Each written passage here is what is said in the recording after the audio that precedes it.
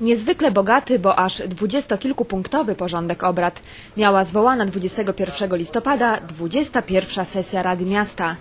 Obok podjęcia licznych uchwał radni oraz uczestniczący w sesji goście wysłuchali również informacji dotyczącej funkcjonowania podstawowej opieki zdrowotnej w mieście, szkół i przedszkoli, dla których organem prowadzącym jest miasto oraz informacji o podejmowanych działaniach na rzecz promocji miasta.